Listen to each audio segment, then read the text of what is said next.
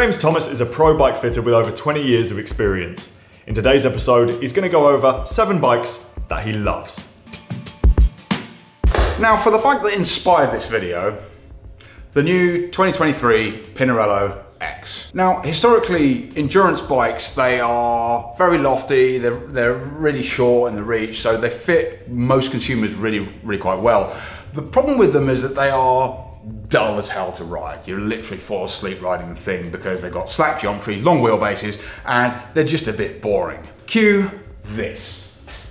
This is an absolute game changer. It's the shortest bike on the market from a reach, a stack and reach uh, perspective. It's also one of the tallest, but look at it. To the untrained eye, this bike just looks like a dogma. Uh, yeah, it's a little bit heavy, but it is a really great looking bike. And the most important thing about it is it fits incredibly well, particularly at the lower end of the size spectrum. Uh, we're fitting these to people who are five foot two uh, and not really having any problems at all. The reach figures are astonishingly short. When I first saw the geometry table for this bike, I, I no, no I almost fell off my chair. I could not believe that a brand like Pinarello could be so forward thinking in terms of their geometry. It's worth giving um, specialized dimension actually for their new Allez. Their new Allez geometrically is really, really good, but, but it doesn't look like this. Uh, we're selling one of these a day. It's got uh, a threaded bottom bracket, which means it's never going to creak. Uh, look, it's relatively aerodynamic. It's got swoopy seat stays to give it a bit more compliance. Available 105 Di2 at four and a half grand. Yes, it's expensive, but it is a fabulous looking bike. It's likely to have uh, that typical Pinarello light ride quality and frankly, it looks gorgeous. One other really key point about this is that it comes in a spectrum of, of different sizes, a lot of which go below the sort of 50 centimeter mark. So uh, particularly for small women, uh, well, sorry, particularly for smaller individuals, there are a number of models, or sorry, a number of sizes to choose from. So you can actually find in some cases with Pinarello that you can have a rider that can actually choose between two or three sizes and it's just a question of how many spaces and what stem length they're going to have. Uh, so because everything we sell in here has a fit story behind it, we can really get behind this product and it's starting to take away some of our custom sales because you know, we, as a business we predominantly build custom bikes for our customers which brings us on to the next bike i'm going to try not to get too emotional about this because this is a real success story for the customer. Um, I have a customer called Giles who's been coming to me for a few years now. Uh, I met him at my previous job uh, at Sigma and We've been working together for a number of years to try and solve some of the problems he experiences on a bike. Giles suffers from achondroplasia, which is commonly known as dwarfism. So as a result, he has extremely wide feet, uh, so has always struggled to find shoes that fit. We've now got him into a, a, a lake shoe that works for him. And uh, last year we started out on a, a, new bike project. He's currently riding a, uh, a custom Talbot uh, with 24 inch wheels, which he's been riding for a long time. And it, it, it, works for him to an extent, but one of the compromises for him is that it's got 24 inch wheels. And that means that he's always struggling with things like tires and wheel choices.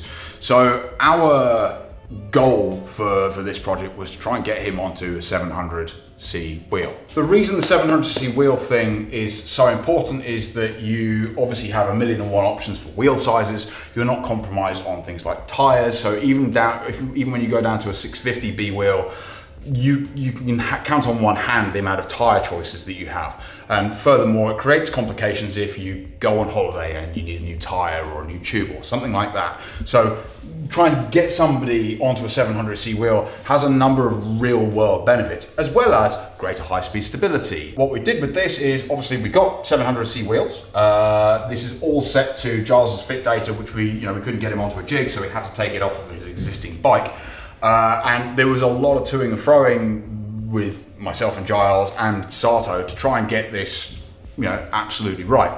And it, it's culminated in, you know, a frame that is sub kilo. It's going to have, you know, high end ENVE wheel set on it. Uh, it's going to be a really no compromises build. But I think the important thing here is that if you look at the offerings out in the real world for riders with achondroplasia, they're few and far between. The products that do exist are nothing like this. They're very much more kind of beach cruiser-esque. So uh, nobody's really catering for this market. I mean, granted, it is a small market, but nonetheless, it goes to show how rewarding selling custom bikes really can be. It's a real problem solver. You know, it goes from this realm right the way up to you know riders who are six foot seven, six foot eight, and you know need really, really massive bikes.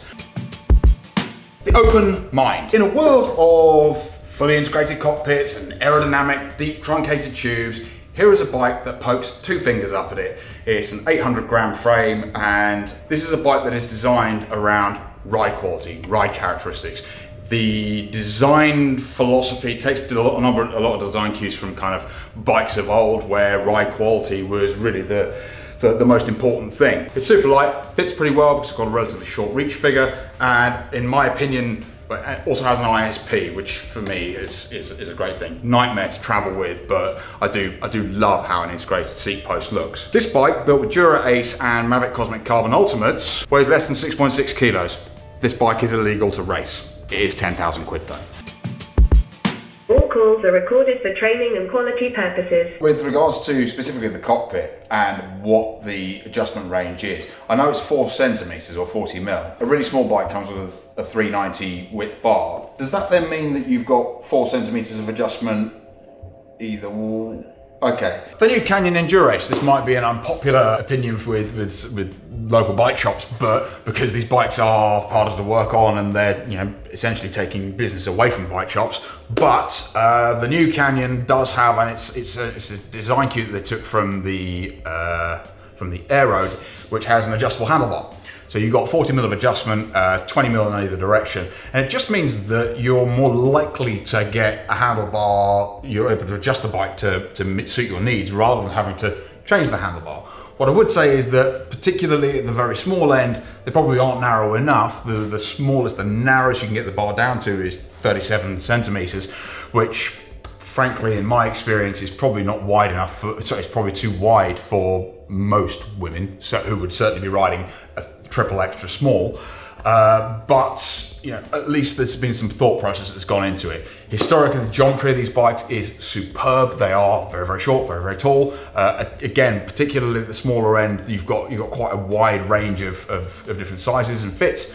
And you know, it comes equipped with one of my personal favorite products, uh, uh, the Ergon VCLS seat post. It's a rebranded Canyon product, but essentially it's the same thing. If all bikes came with handlebars like this, you would be able to stock less handlebars. So this is some of our handlebar stock. Here's a little bit more of it.